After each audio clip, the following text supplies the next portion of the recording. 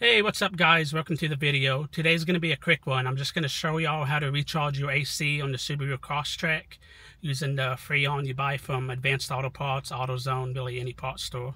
It's very easy and very simple, so let's get started. Hey, I'm going to show y'all how to recharge your AC on the Subaru Crosstrek. It's pretty easy, pretty quick, so let's get to it. First, pop the hood.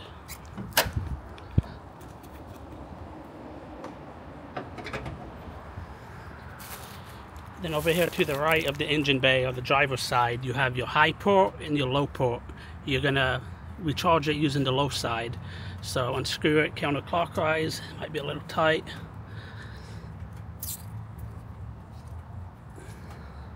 Make sure you don't lose the cap.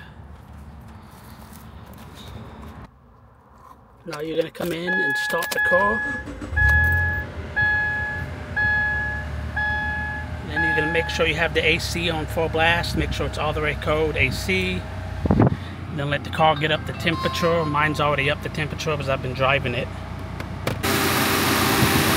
Now you just come get the nozzle, pop it right onto the lower end. Should pop on pretty good.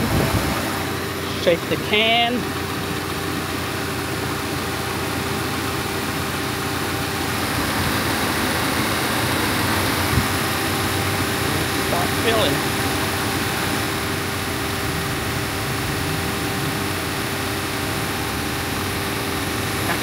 Taking the can sideways, kind of get a good mix on it.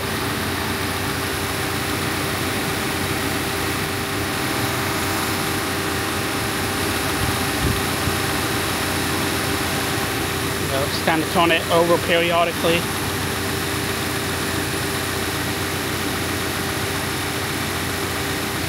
And you can kind of feel it going out so it might not look like it is but it's going in.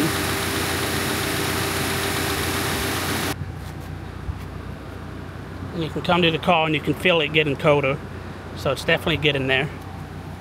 It said to fill it to 55 psi and that's about where I'm at. I might be a little bit higher. So what you do is you fill it up by pressing the nozzle down and you do it for about 10 to 15 seconds and then stop to check your PSI and just keep doing it until you're at the desired PSI. Now you can just pop this off.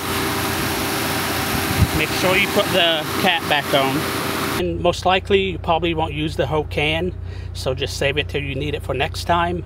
And if you do use it all, you can reuse this hose that comes with it so that'll save you money if you ever have to buy another one. So just make sure you don't throw that away. I still have about three quarters of this left so I'm just going to stick it back here until I need it again. That's a big difference on the AC much much colder. It's hot here in Florida. I needed it. Alright guys that was the video. If you have any questions leave them in the comments below. It's a very easy process so it shouldn't be too difficult.